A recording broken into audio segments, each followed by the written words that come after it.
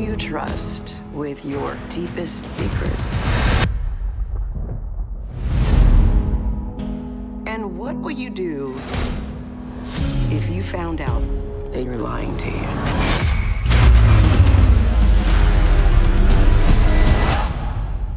Poppy, I need you to help me. I want to know who murdered my husband.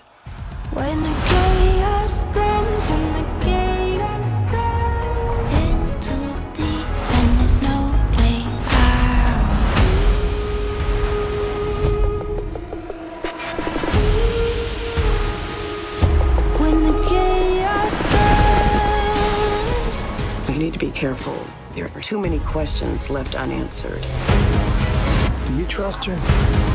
I know my friends. when the chaos comes, We know what our friends want us to know, and that's all. the silence is bound to break.